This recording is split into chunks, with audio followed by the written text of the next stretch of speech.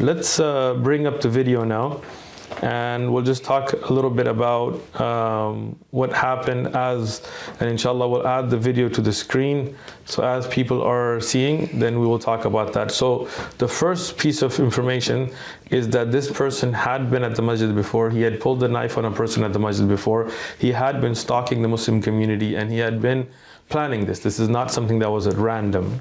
Tayyib. Uh, now this is where we're already going back towards him. And you can see him here. Uh, I'm going to pause it. You can see him, he has the weapon and he pauses to attack me. He, take, he gets in the attack phase. And many people were telling me, why would you walk up to somebody who had a weapon and this and this? And, and to be very honest with you, I mean, uh, when somebody curses the deen, it's just, it's just too much. I couldn't Yeah, take it, you know? subhanallah, I thought, subhanallah, if he kills us, what, what's the worst thing that will happen? We'll become shuhada.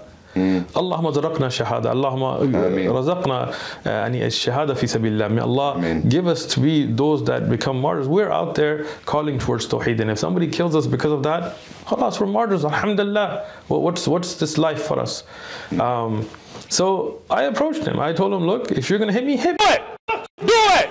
You're not doing nothing! me, hit me. And subhanAllah, this is an important point for the Muslim community who is so afraid nowadays, so afraid to even say that they're Muslims, so afraid to stand up for the Sharia, to stand up for the Quran and Sunnah. When you stand up, the kuffar, the people of yani, uh, the people of hatred, the people that are haters, they will run. Yes. I mean, this day, subhanAllah, none of us were armed. Uh, I wasn't, uh, Brother Abu Rahim wasn't, Mujahid was, none of us were armed. This person had a weapon, he showed us his weapon, he threatened. Here in the video, you'll see him swing at me and all of that. And I kept rushing at him and he ran. Yeah. Subhanallah, he ran away. So you'll see he tries to swing at me here, and I told him, hit me, hit me. And subhanallah, he, he runs back. He's the one with the weapon and he's running. He was hitting the pole here. He was hitting the pole, yeah. He was hitting the pole, he's hitting the side. Uh, I chased after him. Uh, you know, Pashtuns have a little screw loose anyway, so what can you do, right? You see where you stopped it before when he had the, the baton up? Yes. So the guy that was taking your video here, he's on the right of the the, the, the enclosement, the Mm-hmm. counting. I was on the left to give the. From where I was standing, he was right in front of you. So I thought he was actually right. So he like was- you're pashtuning it too much. Allah, jazakallah khair, Allah, Allah barak. Subhanallah, he was only a couple of feet away from me. Yeah, subhanallah. And one of the times he swung, I could, you know, I could feel it. Hmm. And the interesting thing here, Subhanallah, when I went after him in the enclosement, now the video you can't really see it because enclosed. Yeah. He starts to run away. He's, I mean, he's not running, but he's walking away. So I continued to walk towards him. When I, and you'll see in a minute, when I, he backs up, I told him, Khalas, so I back up. He comes running after me now. Now that I have my back to him, Yeah, and this time he had the knife, you know. And subhanAllah, I turned around and I just darted at him. Allahu Akbar, he ran away again. Yani, this is the thing from Allah subhanahu wa ta'ala that if Allah protects somebody, nobody can harm them. Yeah, we have to have that tawakkul Allah.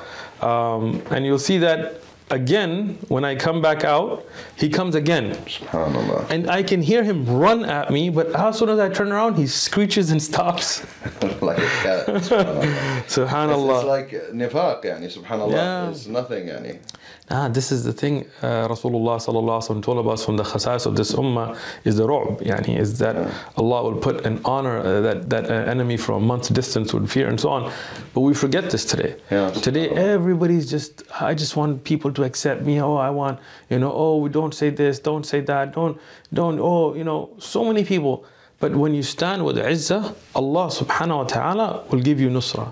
السلام عليكم لا تنسوا الاعجاب بالفيديو والاشتراك في القناة تشجيعا لنا لنستمر بنشر المزيد إن شاء الله.